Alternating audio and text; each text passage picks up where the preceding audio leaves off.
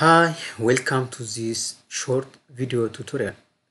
Today I'm gonna to show you how you can merge different Word files into a single document.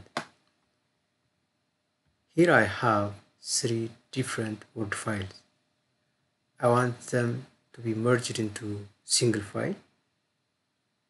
So what I need to do is open new blank document and click insert go to object and select text from file then browse your files to be merged. I go to my file to be merged and then select them like this and simply click insert. This is the merged file single document. If you like this video please hit the like button. And if you are new for the channel please subscribe. Thank you